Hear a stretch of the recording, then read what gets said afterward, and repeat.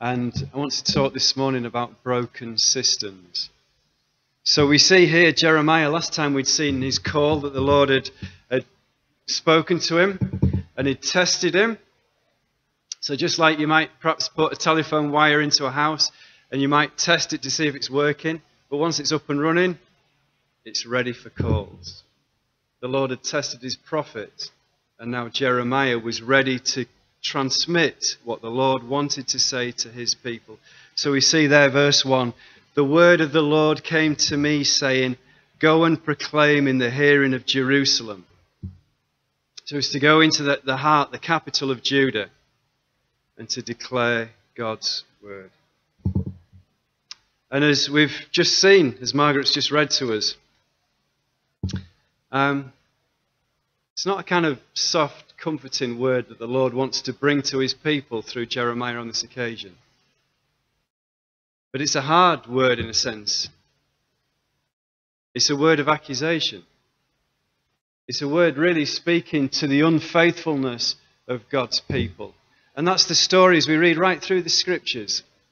You know, we see God doing amazing things for his people, but yet there's something in the heart of particularly the Old Testament believers that always led them away to unfaithfulness. And the picture that the Lord uses is one of marriage. He's seeing Israel and Judah as, as an unfaithful spouse. The picture of marriage, you know, marriage is such a precious thing. This is why marriage is so under attack throughout every generation, but particularly in our generation. Is that marriage, that relationship between one man and one woman coming together, is it says in Ephesians chapter 5, is a picture a relationship between the Lord Jesus Christ and his people, the church. So we see this wonderful picture of marriage all the way through, and it's a marriage of the divine to the human, how we can come as human beings into that loving relationship with God Himself. So, in our chapter, chapter 2, they're really just a series of accusations about Judah's unfaithfulness. In chapter 3, it kind of spills over, but the, the, uh, the chapter division's there, and there is a, a point in a sense, because then it goes on to ask the question, in a sense, can this marriage, which has become so stained, can it be saved? The wonderful answer is, as you read throughout I don't want to give any spoilers away in case you've never read the rest of the Bible. Yeah? But hallelujah. Yes, it can. And right at the end in Revelation 19, let us rejoice and exult and give him the glory, for the marriage of the Lamb has come and his bride has made herself ready. Hallelujah. This wonderful picture that's right through the theme of the Bible of sinful mankind rebelling against God, but being redeemed and brought into that loving relationship as a bride is now clean and ready for that marriage supper with Jesus Christ Himself. So, yes, it can be redeemed. But in this particular time, the scene here in chapter 2 really is like a, a law court. There's a series of accusations that the Lord brings, questions that He brings as if Judah is on trial before God himself. Depending on which version of the Bible you read, there's up to 19 questions here that the Lord comes accusing Judah who stood in the dock. There's no defense. There'll be no defense for us when we stand before the Lord. The Lord brings the questions, but He also brings the answers. There is no defense. So here is the Lord coming. You know, it's good for us to allow the Lord to judge us. It's good to come and, and to read our Bibles and not just to read it just to think, oh, I'm just having a bit of a quiet time with God and I just, just read it quickly. Oh, that's, that felt nice. You know, I'm going to have a coffee now and move on with my day. But to allow the Word of God, the Spirit of God, through the Word of God to search us, to test us. You know, we're not like, unlike God's people in the Old Testament. Our hearts can drift away from God so easily. But what a wonderful thing it is when the Lord comes and searches us and asks those accusing questions. Because he wants to highlight our sin, not to condemn us, but to set us free. This is how we grow in holiness with the Lord. As he searches us, we see our great want and we say, Sorry, Lord, please change me. And he graciously does and makes us more like the Lord Jesus Christ.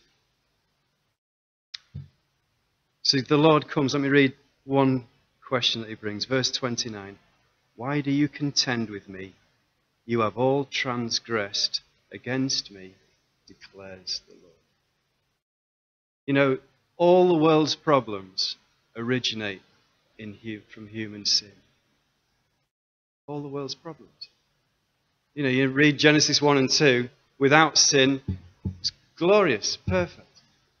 Genesis chapter 3, it comes in man's rebellion against God, mankind's sin. This is the thing, we, we often try and cover our sin and hide away from our sin, but this, the point is, is that, that when something bad's happening, ultimately it's because of human sin. It might be ours directly in that situation, or somebody else's. But ultimately, that's the problem. And this is the thing. This is why our loving Father sent such a Saviour, Jesus, to set us free from these things. But the central accusation here is that the Lord highlights through Jeremiah two evils. Verse 13, if you'd like a look at that. My people have committed two evils. Firstly, they've forsaken me, the fountain of living waters. And secondly, and hewed out cisterns for themselves broken cisterns that can hold no water. One feeds the other. As human beings, we're, made to worship. If we're not worshipping the Lord, if we forsake the Lord, then our hearts will go after and worship other things. The picture here, the fountain. So if you think of a spring in a valley, giving cool water out, fresh water being poured out. But this is more than that. This is a fountain. It's not just seeping out the hillside like a spring might. Fountains gush up, they overflow. This is the picture, this is what God's saying. I'm like a fountain, I'm the fountain of life. You can come to me at any time, and I'll never dry up. You can drink of me, I will satisfy. You can drink of me, you won't be harmed in any way. There's nothing bad about this fountain. Comparing it to a cistern, which is a hole in the ground dug by a person or a number of people to try and collect rainwater during the rainy season so that when it's dry, they can go down and take water out for their needs. You know, there's only ultimately two ways to live in life. You're either living for Jesus Christ, surrendered to His will and living for His glory, or you're living for yourself, surrendered to nobody and living for your own glory. They're the only two options that we've got. And the accusation that the Lord's bringing is that God's people had stopped living God's way and were living their own way. And you can feel something of the outrage in this. The imagery that the Lord speaks through Jeremiah. So there's this outrage that comes. You look at verse 32. Can a virgin forget her ornament or a bride her attire? Do married women ever forget their engagement ring? Does the bride forget her wedding dress?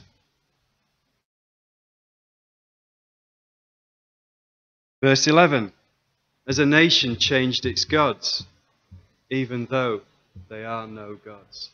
You can feel the outrage. The Lord's saying, Why have I been slighted? Why are you being so unfaithful to me? I've only given you good all the time. Why is it that you've gone away and you've even forget, forgot those things? You've forgotten as if I even exist. You've forgotten your wedding dress. You've forgotten your engagement ring. It's like a, a, we never had this relationship. That's the outrage that's coming through through the words of Jeremiah. The nation had become apostate. That is, it had fallen away from the living God. It had fallen away from the faith. Now, not everyone, because clearly Jeremiah hadn't. But as a whole, the nation had fallen away from God. We live in a time, particularly in our nation, in the Western world, where the church is just, in many ways, the established church, a lot of the denominations, are becoming apostate. They're falling away from that faith once delivered to the saints. Coming away from the truth of the Bible. Drifting away. Falling away. Naming God, in a sense, but not really the God that they're naming doesn't really have any bearing with the God who's revealed in the scriptures. It's a God of their own imaginations. It's not everyone, not every church, but the, some of our denominations, sadly, are falling away. Why does this happen? How does this happen? Well, our text shows, really, in the accusations that the Lord brings, it shows how a nation, how a denomination can fall away from the living God. And the first thing I want to bring, bring out is that they'd forgotten all the good things that God had done. Verse 6, have a look. Says, Your fathers did not say, Where is the Lord who brought us up from the land of Egypt? Goes on to talk about coming through the wilderness and settling in the promised land. The fathers hadn't passed it down to the next generations of the goodness of God, the deliverance, the coming out of the, the, the power of Pharaoh, all the miracles, setting them free from Egypt, coming through the Red Sea. I mean, that's a pretty good one to tell your children, your grandkids. The Lord opened up a sea, let God's people pass through, and then He closed it in again on their enemies. They'd forgotten these things. They'd forgotten the manna. They'd forgotten the quail. They'd forgotten the water in the wilderness. They'd forgotten that God had brought them into a land that they hadn't worked for. A land that already had houses, already had vineyards. A land that was flowing with milk and honey. They'd forgotten these things. You know, the job of whoever stands here where I am today, primarily on a Sunday morning, is to remind you again of God, who He is, and what He's done. You know, the job of parents, primarily, is to remind their children, to tell their children of who God is and what He's done, and to keep reminding them of those truths. That's where the first thing that they'd done was that they'd forgotten the Lord. The second thing, verse 19, if you just look at that, at the end of verse 19, for you to forsake the Lord your God, the fear of me is not in you. The people had stopped fearing God. In a sense, they'd stopped recognizing who God is. They'd stopped recognizing how different God is to all the other gods, in inverted commas, that exist in the world. The primary sin, as we see in, in this chapter, is the sin of idolatry. You know, that heart in people to want to worship. But when you stop telling the stories of who God is, when you stop reading the Bible and reminding yourself of, of how great God is, the, the human brain will always just move away and start to look at the world and start to think, well, maybe God's not that much different from the other things that people worship in the world. Maybe following Jesus isn't that much different. We need to remind ourselves of the truth. You know, when Moses was taking too long up the mountain, says in Exodus 32, the people gathered themselves together to Aaron and said to him, Up, make us gods who shall go before us. And then they melted all the gold down and made the golden calf. Something in the heart of, of people that we want to worship something. If we don't worship the living God, we will worship false gods, or we will end up worshipping ourselves. We need to come and to remind ourselves of the good things that God has done. And their idolatry, it's likened to unfaithfulness in a marriage relationship. It's likened to becoming unclean. Verse 23 How can you say, I am not unclean? I have not gone up after the Baals. Even in their sin, they were still shocked, like, What do you mean we've done anything wrong? What do you mean that we're worshipping other gods? You know, these things can be deceptive. There's a sense that people can, can think they're still worshipping God, even when they're worshipping God and other things. They can convince themselves that they're still being right before God. So when you look at King Solomon, his great downfall was marrying all these foreign women who dragged his heart away to, to worshipping false gods. But Solomon never fully renounced the Lord. He never stopped serving God. He just added all these other things on, onto his service of God. You know, we can all do that in, in different ways. Or we can worship the God, but we can, not the God, we can worship God, yeah? Can worship God in a worldly way, bringing certain techniques from the world and understandings from the world, allowing the world to come into the church. These things are a matter of, of our hearts. You know, we, you can still come to church and live a double life and be serving all sorts of things, doing all sorts of things that are unclean before God. The Lord wants pure hearts. He wants undivided hearts. That was really the accusation that he was bringing against his people. Come back to me. Come back to me with an undivided heart.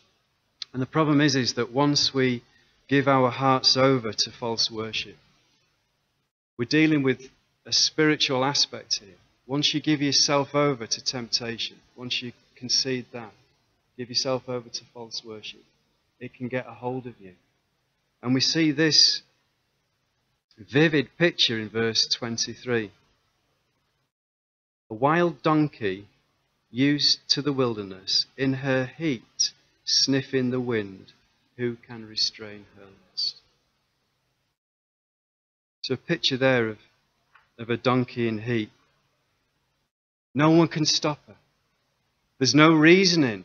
It's just based on pure instinct. There's a desire within that animal to, to run after other animals.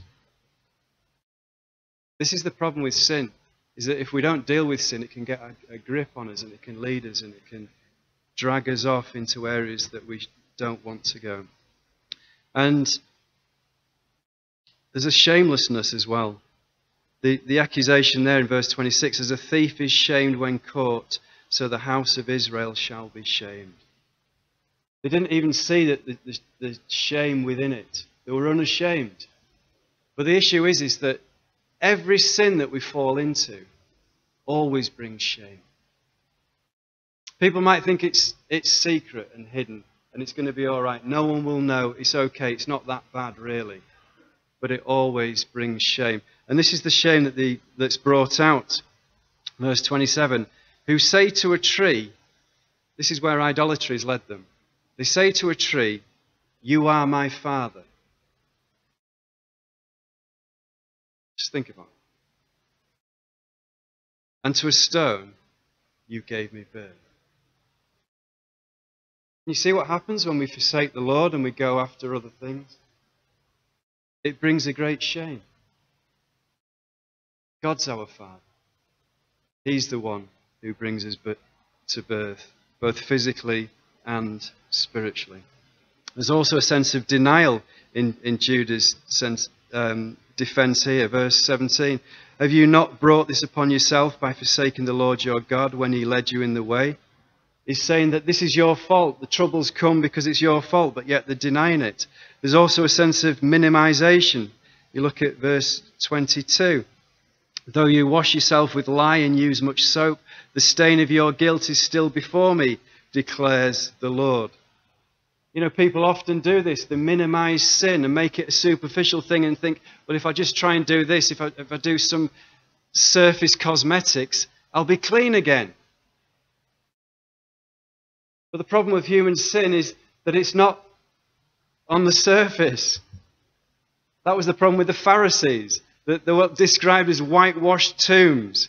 They had it all clean on the outside, but yet inside it was full of dead men's bones. The problem of human sin can't be dealt with in a cosmetic way. It's right at the heart of us.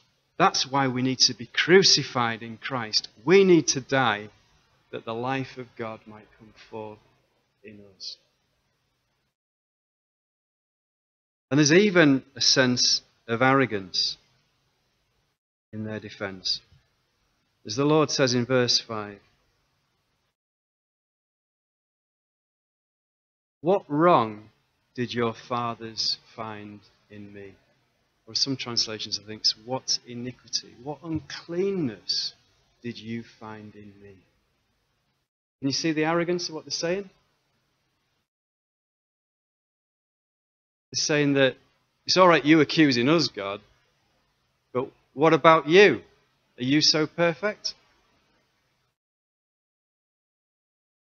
Now, I've spoken with, I can remember one conversation with an atheist particularly, who, you know, trying to take the moral high ground and looking at the Old Testament and when, you know, God had sent them in to destroy all the enemies, including women and children. How can you serve a God like that? How can you respect a God like that? You see what they're trying to do? They're trying to put iniquity on God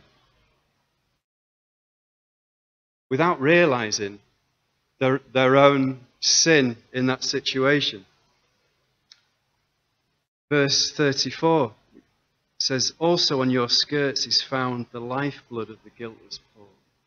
They're trying to say that God's unclean when really they've got the blood on the skirts. And as we see, the sin of God's people oppressing the poor, but also, even worse than that, sacrificing their children to demons, as we'd read in that psalm earlier, to Molech, to false gods as part of their idolatry. They had blood on their hands. We don't have the right to kill someone,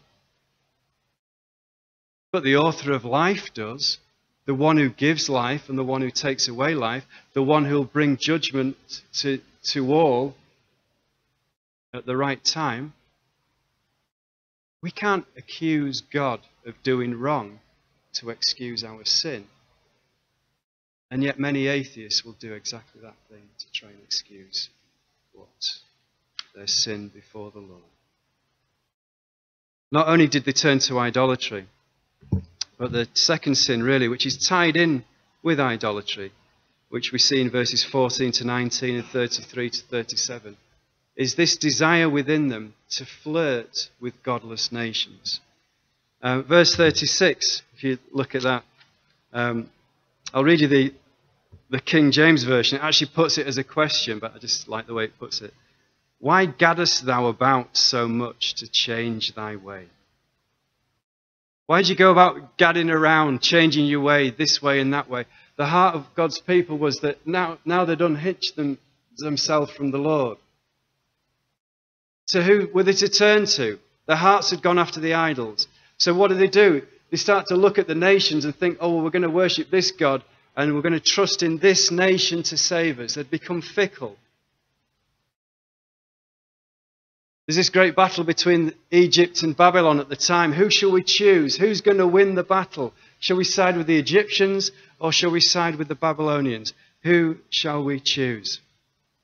But like the broken cistern that can hold no water, when they come in the dry season and they're desperate for a drink and they lift the lid of the hole and they look down, they see that the cistern's broken, that there were cracks in it and the waters all drained away.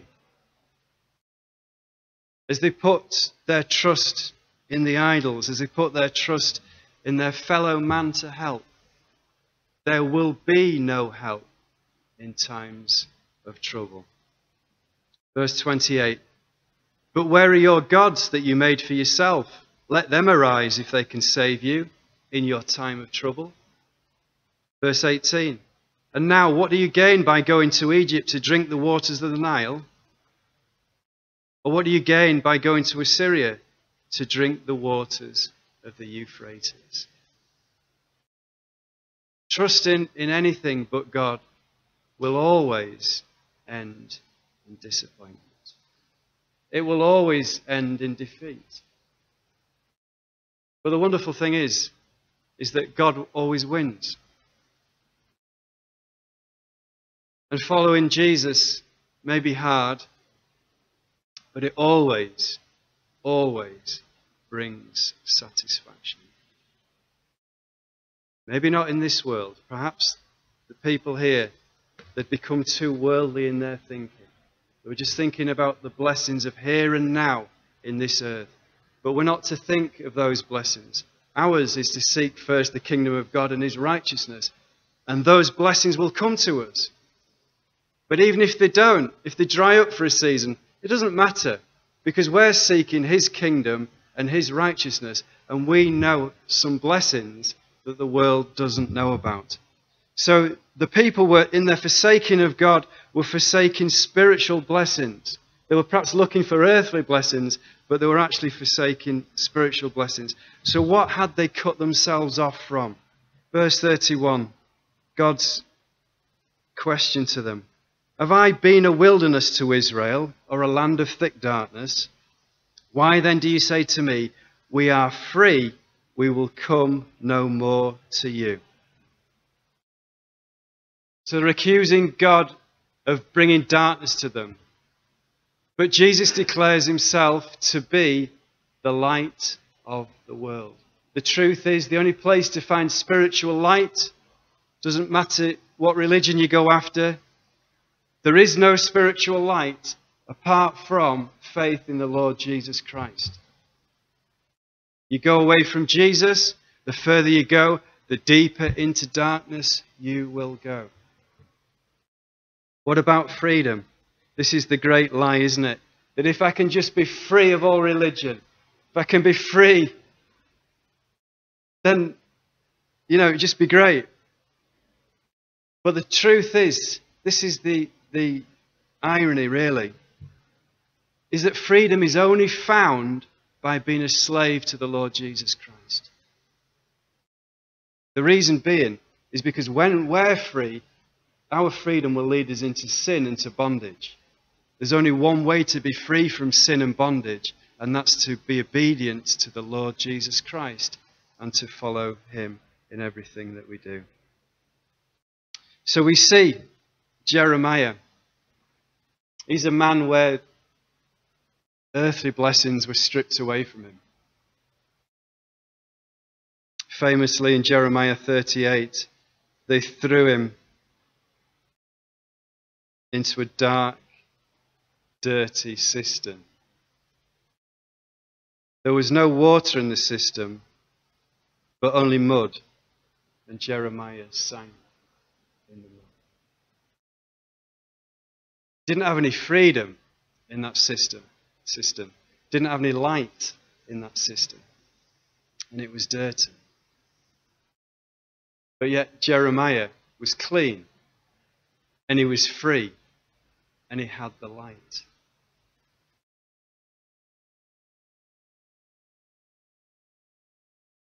He had a lot of trouble, Jeremiah. Chapter 20, it says that Pashhur beat Jeremiah and put him in the stocks that were in the upper Benjamin gate of the house of the Lord. You know, the world will try and throw accusations. I, I, presume they did it in the times of Judah, but they certainly did it in our days, in this, this nation, in the times of the stocks. They'd tie people up, and there'd be there public humiliation. And when you listen to Jeremiah's complaint after this, there's a sense of public humiliation. He's there at the Benjamin gate people walking past him. Who knows what they threw at him as they went past to try and muddy him, to soil him, to dirty him. You know, when we stand up for righteousness, The world will throw all sorts of things at us, all sorts of accusations to coming at us. But Jeremiah was to learn yes, he struggled. He did struggle. He was honest. And we can struggle with those accusations. But what's important is knowing what the Lord says to us. He says, You're clean. When you're walking in obedience, it doesn't matter whether the world would turn it around and try and say you're dirty or you're the problem. You're not. You're the answer because you've been sent by God. You are clean, and God will vindicate you and God will justify you because you're following the Lord Jesus Christ. The other thing that these people were missing out on was protection. Verse 14 Is Israel a slave? Is he a homeborn servant? Why then has he become a prey? What happens is, is that when people come away from the Lord's protection, when they try and join the world's game, it's a little bit like an ant on a rugby field. You're going to get trampled. You're going to get mauled. You've come away from the protection of the Lord. You know, sometimes the Lord will, if we are in sin and He wants to get our attention, He'll lift His protection from us so that things get bad, so that we get a taste, so that we get a scare, if nothing else, to run back to the shepherd for His protection. And we see how wonderfully, you know, you got these fighting between Egypt and Babylon, and Jeremiah, through the, through the, the prophecy, will be saying, Look, yield to Babylon, to the people. Give in to Babylon, surrender to Babylon, and you'll be all right. Not because they were trusting in Babylon, but because God had sent Babylon, and it was in a way yielding to God. What do they, ref- they do? They refuse to yield to Babylon, and they turn to Egypt and go away. Many of them get destroyed, many of them get captured. But what happens to Jeremiah? Does he lose his protection?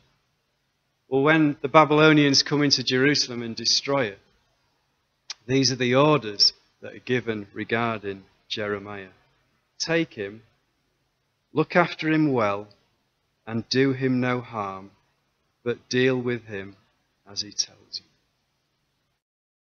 The Lord protected his man.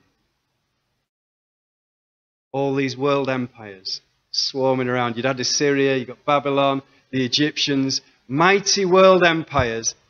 Little Jeremiah is safe as houses because he's trusting in the Lord and the Lord's providing for him. The Lord will provide for you as we trust in him.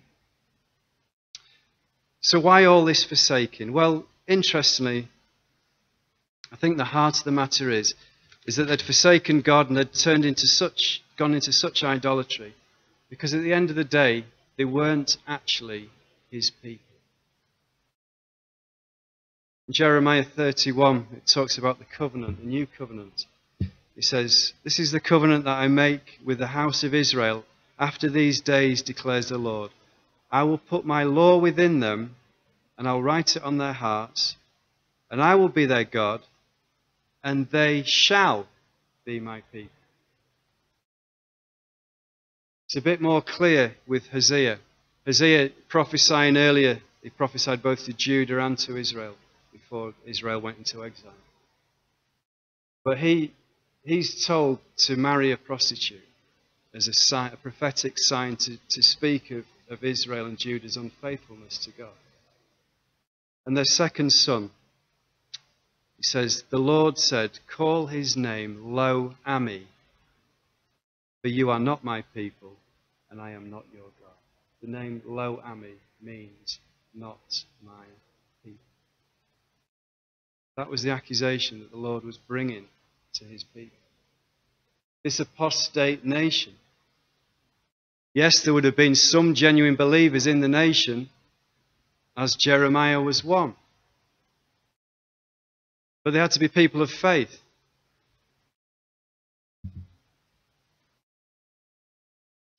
And that's the great lesson for us. Is that, verse 21, it says, I planted you a choice vine, wholly of pure seed. How then have you turned degenerate and become a wild vine? So, how had they degenerated? Well, the fact was, is that spiritual life can't be passed on through human generations. Spiritual life has to come direct from God. You can't assume, this is why we're praying for prodigals. Many of our children have grown up in the church and then gone away. The question is, is were they ever there? Yes, they were in church, but were they ever there? Were they ever actually the Lord's people? You know, I'm, I do not think people here are presuming that their faith's going to carry their children in that way. And they know. I know by your prayers that you know that spiritual life can't be passed on. Just because I'm a Christian doesn't mean to say my children will be Christians. We've got to come ourselves to the Lord. We've got to receive it ourselves from the Lord. We have to be born again by the Spirit of God. It can't come through human generations. And that's why Ezekiel says, in a similar vein, God says through him, I will put my spirit within you and cause you to walk in my statutes and be careful to obey my rules. These people needed the Spirit of God. These people were described as not God's people. These people, as it says in verse 33, how well you direct your course to seek love. They were looking for love. How many people in our churches are looking for love in the wrong places? When you come to know the love of the Lord Jesus Christ, I hope you can witness for this. You don't go looking for love anywhere else. His love satisfies. His love is the greatest love. No one ever died for me. No one ever gave themselves up for me. No one ever loved me that much. Verse 5 What wrong did your fathers find in me that they went far from me and went after worthlessness and became worthless? That's the sad thing. That God's people, their hearts were going the wrong way. They'd gone after worthlessness, after their idols and in so doing had become worthless. Verse 11 says, But my people have changed their glory for that which does not. So the contrast there is that the idols are described as worthlessness, but God is described as their glory. In idolatry, in sin, there's only shame and worthlessness. But in trusting in the Lord, in coming to the Lord, in coming to that fountain of life. We're coming to the glory, the glorious one. And we, we will be coming to glory. We'll be coming into the glorious one's presence one day to be glorified ourselves, to live in glory throughout the whole of eternity. Can you see how worthless it is? when people go away, why would you go away from the glory of God? Living in the glory of God, experiencing the glory of God. Isn't this what we as human beings were destined for? The greatest calling that anyone can have is to live in the glory of God, to be glorified with the glorious God. So, to end, where do you drink? There's only one place that gives water that satisfies. That fresh, refreshing, healing water. There's only one place where the water never runs dry. There's only one place that carries the blessings of heaven. There's only one source of water that can bring eternal life. Jesus is the fountain of living waters. And his promise still stands true. Whoever drinks of the water that I give him will never be thirsty again. The water that I will give him will become in him a spring of water welling up to eternal life. Anything and everything else is merely cistern digging.